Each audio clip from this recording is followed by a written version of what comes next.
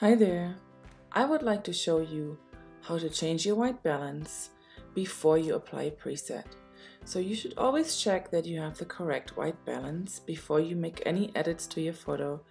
White balance is crucial to a good image. Um, it's not necessarily how I do things. Most of the time I apply my presets and then change my white balance and then see um, what I like best and what what I what's pleasing to my eye. Um, it is important that you do know what the correct white balance is and that you see and train your eye on seeing the pure white. Let me show you what I mean by that. So you have white right here. This is a nice even lit image. There is no light coming hitting the subject from the back, no backlit image, no harsh light, super easy. So when you turn on the temperature up here, the white balance, let's go a little bit more in the blues. So you can tell there's lots of blue in this photo and lots of blue in the white and you don't want that. Let's go back a little bit more and you can still still see when you look closely that there's blue in the white. So when you want to change your white balance, click on the dropper tool. There are different ways to go about this. I'm going to show you this one. And you are going to go to a neutral color. Um, not necessarily a white color, but also not green or blonde or brown. Just a neutral color, like a gray or something. This gray is a little bit too bluish. So I would say let's stick with this one right here. Click on it and you see the whole photo changed because it changed the white balance right here. Now you can see there is no more blue or any other weird color in the white. This is all a matter of practice. You basically have to train your eye to see color even though it's not obvious. Okay, so as I said, this is not how I do things. I do it the other way around because I feel the correct white balance is not always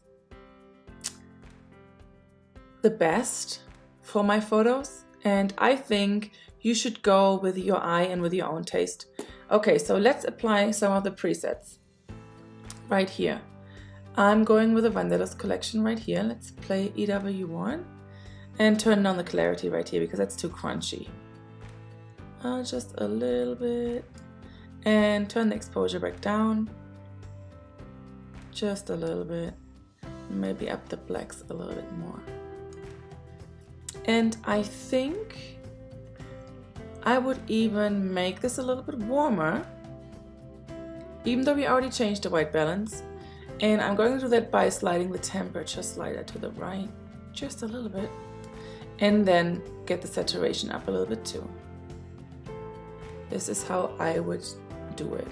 Let's go look at some of the other presets, see what they do and what we can change. So with these presets right here, what you have to do is turn up your shadows. Those are a little bit more moody. Let's go to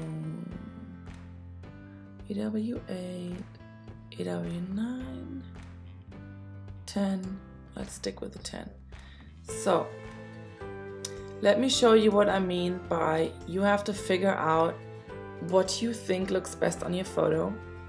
I think this looks pretty good. We already changed the white balance but I want to see what it looks like without the white balance change. Now you can actually see it's a little bit too bluish it's this is also a good idea to train your eye when you go back and forth, when you go back to white balance corrected and as shot, white balance corrected and as shot. So it's a good idea to train your eyes like that. This is a little bit too blue, so let's go to auto. I actually like this. And this is how you can play around and change your images, change the white balance, but make sure you train your eye before you do all of this. So I hope this little trick helped you.